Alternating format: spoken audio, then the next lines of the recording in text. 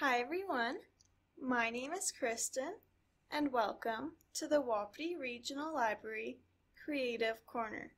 Today we are going to be talking all about the rainbow. The colors of the rainbow are red, orange, yellow, green, blue, and purple. Would you believe me if I told you that I made this rainbow only using three colors? You're probably thinking, that's crazy. There's six colors. Today, I'm going to show you how to mix red, yellow, and blue, which are called the three primary colors, and they can be mixed together to make orange, green, and purple. This is called the color theory.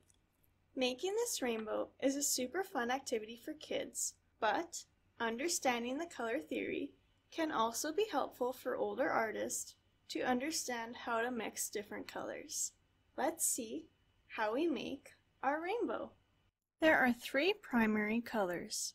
They are red, yellow, and blue. The first color in a rainbow is red, so let's color that in first.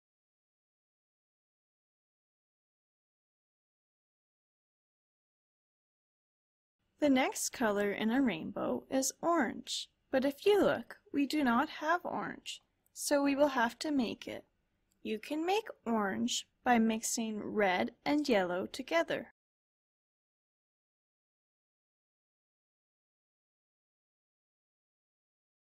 Once you have mixed it good, you will see you have created an orange color. So, then, fill in the next color of your rainbow.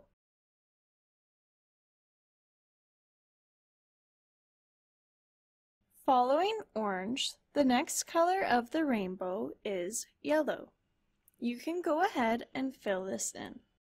Following yellow, the next color of the rainbow is green, but we don't have any green paint. So you can mix together yellow and blue. This makes green.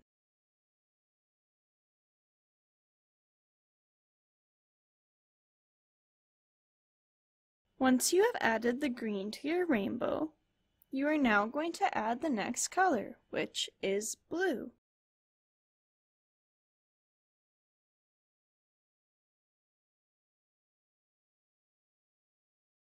The last color we need in our rainbow is purple. So we are going to mix blue and red together. This makes a nice dark purple.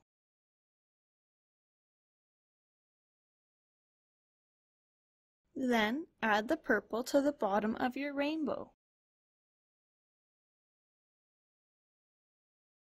Remember, blue, red, and yellow are what are called primary colors, and you can make secondary colors using these colors.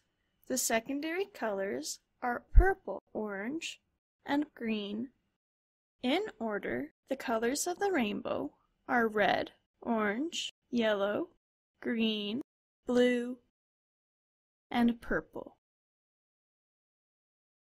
You can add some clouds or paste on cotton balls to your rainbow. If you want, you can also color in the background.